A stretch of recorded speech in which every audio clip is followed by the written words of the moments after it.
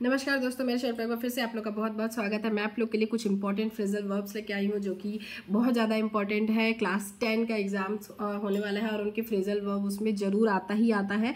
तो चलिए देख लेते हैं कुछ इंपॉर्टेंट फ्रेजल वर्ब जो आने के काफ़ी ज़्यादा चांसेस है। सो so, अगर आप चैनल पर नए हैं वीडियो अच्छी लगती है तो लाइक कर दीजिएगा और इसका अगर दूसरा पार्ट चाहिए होगा तो भी आप मुझे कमेंट कर दीजिएगा कि हमें और इंपॉर्टेंट बता दो। तो मैं और लेकर आ जाऊँगी। तो फ़िलहाल इतना ही चलिए देख लेते हैं। फ़र्स्ट हमारा होता है ऐसा फ़र्स्ट जो है इंपॉर्टेंट वो है कैरी आउट ठीक है? कैरी आउट मतलब क्या होता है? कैरी आउट मतलब होता है पालन करना या किसी ने बता दिया कि मतलब किसी ने कुछ निर्देश दिया तो निर्देश के अनुसार कार्य करना। किसी ने जो बोला है जैसे आ, मैं अपने बच्चों को बोलती हूँ कि ये करके दिखाओ तो वो करके दिखाए ठीक है? तो निर्देशानुसार कार्य करना कैरी आउट ठीक है?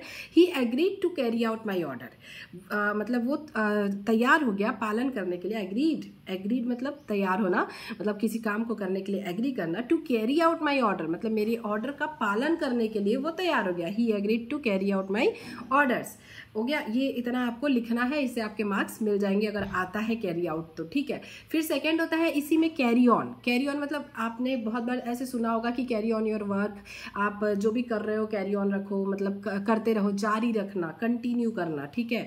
तो कैरी ऑन मतलब क्या होता है? जारी रखना या कंटिन्यू करना। You can carry on your work मतलब कुछ भी आप इस तरीके से अपना भी बना के लिख सकते हैं कोई ज़रूरी नहीं कि यही लिखना है बट कैरी ऑन बहुत ईजी वर्ड है। तो अगर आता है तो इसे छोड़िएगा मत। कैरी ऑन मतलब क्या होता है? जारी रखना मतलब कंटिन्यू कर, आगे काम को करते रहना।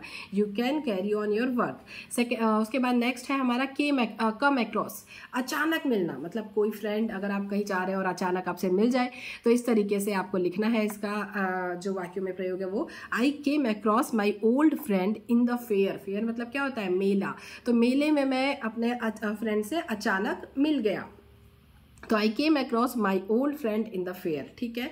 ऐसे आपको लिखना है। सेकेंड उसके बाद फोर्थ नंबर हमारा हो जाएगा कम अबाउट कम अबाउट मतलब होता है घटित होना। How did this evil event come about मतलब ये कैसे हो गया? इस तरीके से बोलते हैं ना, कैसे घटित हो गया? ऐसा मतलब ये काम कैसे घटित हो गया? या जो भी कार्य अगर कोई बोलता है तो इसको आपको लिखना है, अपने वाक्यों में प्रयोग करना है तो ये कैसे घटित हो गया? तो लिखेंगे आप how did this evil event came about sorry क्या हाँ सॉरी कैम अबाउट तो फिर उसके बाद नेक्स्ट हमारा आ जाता है कैरी ऑफ़ कैरी ऑफ़ मतलब होता है जीतना ठीक है? तो आ, मतलब जो जैसे जीतते हैं प्राइस काफ़ी ज़्यादा तो उसको बोलते हैं वो वाला होता है ये कैरी ऑफ़ मतलब जीतना होता है। He carried off most of the prizes मतलब उसने बहुत सारे प्राइजेस जीते हैं।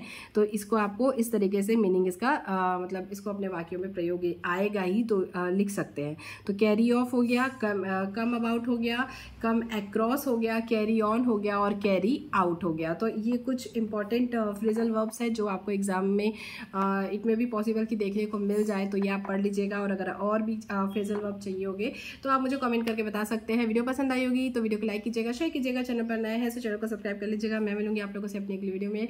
एग्ज़ाम्स के लिए ऑल द बेस्ट अच्छे से तैयारी कीजिए, अच्छे से एग्ज़ाम दीजिए। Thank you thanks for watching